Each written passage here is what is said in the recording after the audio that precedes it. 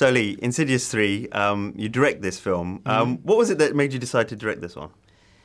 I'd always wanted to direct something. You know, it was one of those goals on the horizon, that kind of a mirage that gets further away from you the closer you get to it.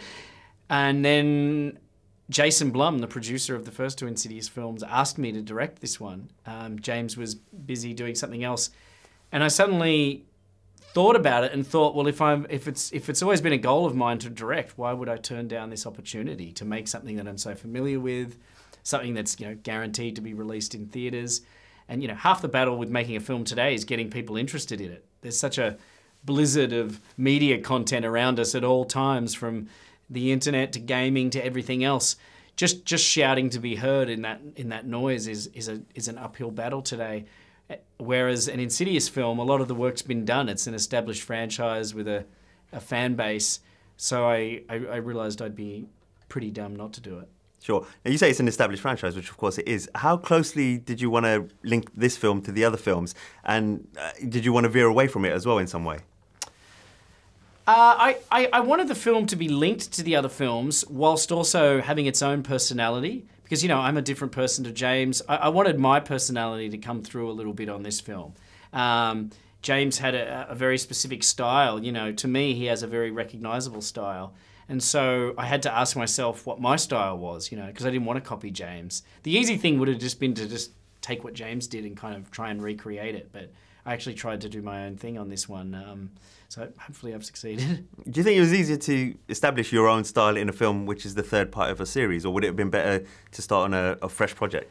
Um, it was a, a tricky line to walk, but uh, you know, given that I had written the first two movies, I felt comfortable operating in the world. It, it wasn't like I was stepping into someone else's house and being like, "Right, I'm here, I'm redecorating, take down the curtains." Like the having written the first two movies gave me the authority to mess around with things a little bit. You know, um, I, I, I could change uh, things, you know, and, and, and move them around and not have to feel guilty, you know, because I had that sense of ownership. hmm Uh, and obviously directing yourself as well in this one. How Yeah. was that? How was that? How did, how did you find that? It's pretty weird. I, I found myself being very flippant about m- my own takes. I would do a take and look at the monitor and say, "Yeah, it's fine," you know. Whereas the other actors, I was so invested in talking to them. So that is a danger that you know when you're directing yourself as an actor, you you kind of think of yourself as an afterthought. You can be kind of too dismissive of it. So you know, luckily those characters are kind of fun and funny. They're not. They're not. It's not like playing Hamlet. You know, you you sort of come in, crack a few jokes, and and and kind of leave. And I always have fun with Angus. So um, yeah, it was it was fun. So tell us a little bit about the new characters that we meet in this film. Um, we meet the Brenner family.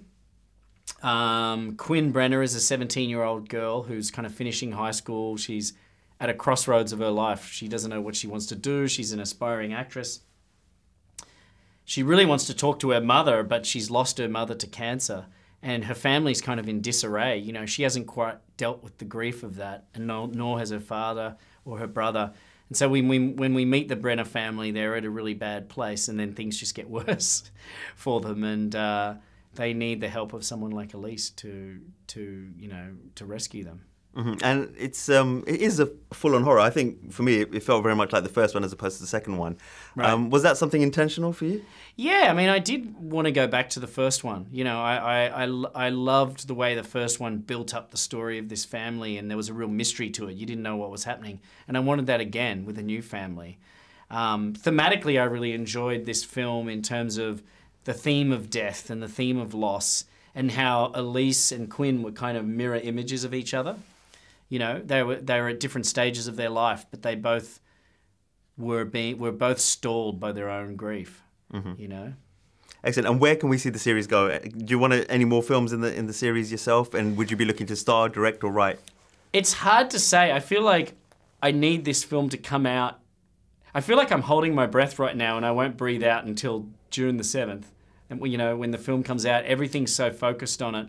Um, and I'm very superstitious too, so thinking about other Insidious films, I feel like is angering the movie gods. As soon as I, as soon as I start chatting to you about another Insidious film, I feel like lightning will strike, and there'll be a, you know, the Terry Gilliam esque foot will come out of the sky and stomp on me for angering the gods. Okay, so outside of the Insidious franchise, what have you got lined up next? I don't really have anything lined up. I know I want to direct something. I really got the directing bug on this film, so I, I feel excited to make another film. The problem is, you know, it's, it's deciding on another film, and I'm so passionate about movies, and I, I don't want to, I don't want to make a film for making a film's sake. I want each film to be really important to me. I mean, that's the only way you can get through it. You know, as you know, it takes such a long time to make a film. From the time you start writing to this point, when you're sitting in a room in London being interviewed, it's like a year and a half, sometimes two years of your life or longer. So I don't feel I can go through that process if I'm not 100% invested. Uh, maybe there's some directors out there that treat it more like work.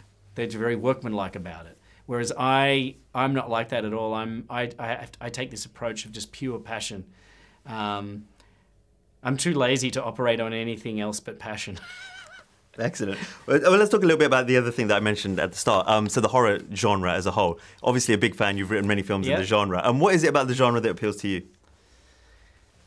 I love that the horror genre allows us to be negative about the world. It's one of the genres where you can have an unhappy ending and you'll be forgiven. Try having an unhappy ending in a, you know, uh, uh, an Indiana Jones movie. I mean, when people go see pure escapism, big action movies, they want the hero to get the girl, or they want the the the, the hero to get the guy, because they can be female heroes, and uh, they they want to they want to walk out of the theater with a half-empty box of popcorn and a grin on their face. Whereas horror, you can have the hero of the story die, and it's acceptable. So I, I love that flexibility. I think it's a really malleable genre. You, you know, you can you can marry it to other genres, make a horror sci-fi or a horror comedy. It's just fun. It's just a fun world to operate in. This kind of dark world. So you must have seen a lot of horror films. Um, Yes. uh, Probably brought up on them, I guess. Can I ask you some of your favourite horror films and some of the favourite scares from those films? I mean, Jaws was one of the first films that affected me on a very primal level. You know, I had nightmares for years after watching that film. I'd say the best scare in that film is the head popping out of the boat. That one got me. Um, and still the anticipation of it gets me. Um, the Shining. I hate the scene in The Shining when he's riding his little trike along the corridors and he stops and looks back at the at room 237 and he's kind of creeping towards the door. I mean, if I'm watching that film late at night to this day, that that that scene kind of rattles me. Um, I love the scene from the others when she's stalking through the room, ripping the sheets off the mannequins one by one. When I first saw that, I was just sinking under my chair, like waiting for the worst. Uh, the Exorcist is kind of disturbing on a whole nother level. Um, and the scene when she first gets hypnotized is kind of one of the big ones for me. So there are a few scenes that have really stuck with me throughout the years. And how influential have those scenes been in, in your later movies? You know, The Exorcist was a big influence on this one. You know, I love that combination of kind of documentary realism with this sort of outlandish terror. So I tried to go a little bit for that. You know, I wanted the family to feel very real, very natural. And, uh, you know, so that when things started going wrong for them, you really, you know, it really hits home. Excellent. And Jaws for me is also is one of the Yeah. big ones that I grew up with. Um, it's a PG film which manages to be a big horror as well. Yes. Is that something that you think can be done nowadays? I think it. I think it can, depending on the subject. You know, if you're trying to make a zombie film and make it PG-13, that's kind of difficult because zombie films kind of thrive on carnage and you know bodies being torn limb from limb. So it really depends. You know, horror to me is this big tree, and each branch of the tree represents a different subgenre. So you've got zombie horror films, uh, haunted house films, uh, monster movies, uh, you know, vampire movies. You know, and it depends what you go with. Um, so it depends which branch you pick. I think haunted house movies are particularly friendly to the PG rating because, you know, you don't need blood for a haunted house movie to be scary. That's not really the bread and butter of a haunted house movie. It's all about someone standing in the corner. So they can be very intense without needing to push it into an R rating. And I actually love that freedom of it. I think we got a, got away with a lot in Insidious 3 that for a PG rating, you know. Hopefully it still feels really intense. Excellent. Thank you very much, Leigh. Thank you. Thank Cheers. you. Ladies and gentlemen, you're watching HeyUGuys! Hey, you guys, huh? You guys. Is that from the Goonies? is indeed, Nice. Hey,